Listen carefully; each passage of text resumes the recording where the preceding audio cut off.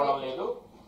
ఉపాధ్యాయులకి last priority ఇస్తున్నారు. పదిహేనో తారీఖు కూడా వచ్చేస్తుంది. ఇప్పుడు వరకు ఉపాధ్యాయులు చాలా మంది జీతాలు పడలేదు ఫైనాన్షియల్ క్రైసిస్ అనేది that's reality and everybody is bearing with it and చేసే వీటిలో కూడా అది రిఫ్లెక్ట్ అవుతుంది. వాళ్ళు అర్థం చేసుకుంటున్నారు.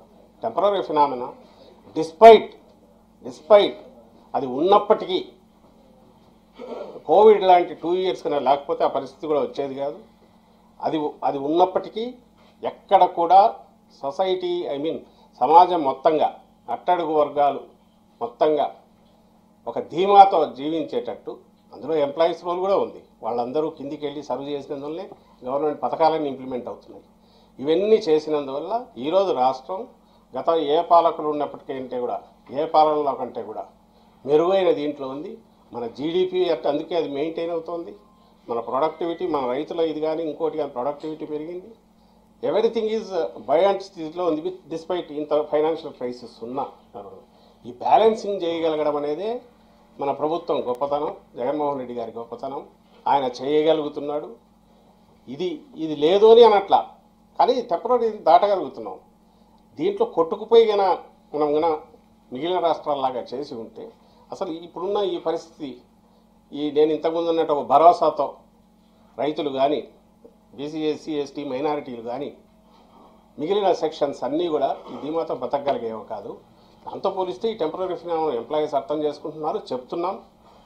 ఇది కొంచెం హర్టింగ్గా ఉన్నా కూడా ఫ్యూచర్లో త్వరలోనే సెట్ రైట్ అవుతున్నా వాళ్ళు అర్థం చేసుకుంటారు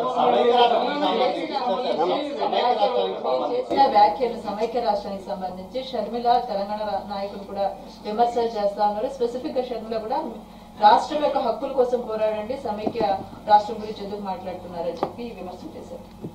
అంటే దాని కంటిన్యూటీ సార్ ఇంకోటి టిఆర్ఎస్ వైసీపీ కలిసి ఈ కామెంట్స్ చేస్తున్నాయి. ఇద్దరికి ఒకటే ఏజెండా అదే అసలు ఆ రోజు ఎందుకు నేను ఆ మాట అనాల్సి వచ్చింది? మీరు అడిగితే అన్నాం. మీరేమని అడిగారు?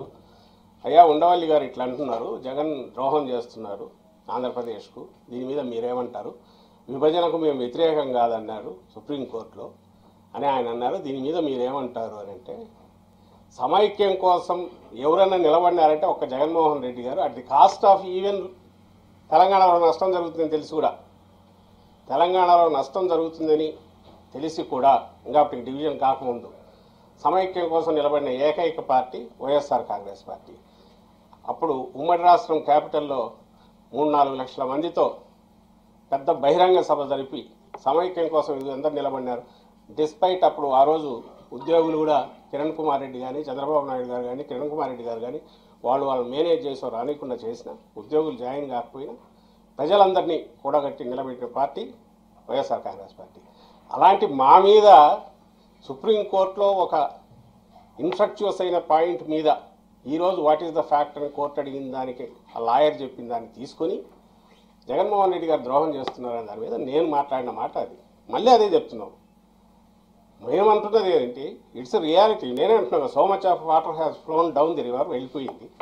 ఈరోజు ఎనిమిదేళ్ళు అయిపోయి రెండు స్టేట్స్ సపరేట్ అయ్యాయి లాయర్ని అడిగితే I'm representing a bifurcated state ఆ బేసిక్ క్వశ్చన్ ఈరోజు అడుగుతున్నారు అని అన్నాడు.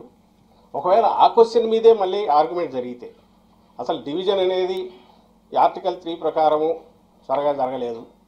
అసెంబ్లీ తీర్మానాన్ని పరిగణలోకి తీసుకోలేదు.